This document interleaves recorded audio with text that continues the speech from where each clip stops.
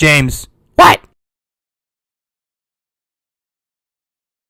Are you gonna say it? Have you ever wondered who started racism?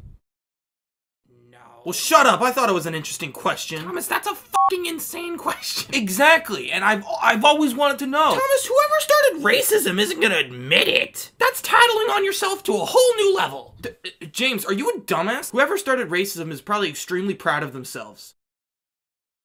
You know, that's a good point. But regardless of that, whoever started racism is probably dead now. You know, that's a good point too, but you never know. They could still be alive. Yeah, I highly doubt that. It was me. I started What the racism. fuck? It's really the Great Western Way. It's true. Duck hates me. What the fuck are you doing on the ground? Oh shit, I'm going down. Fuck. Oh shit. I was never here.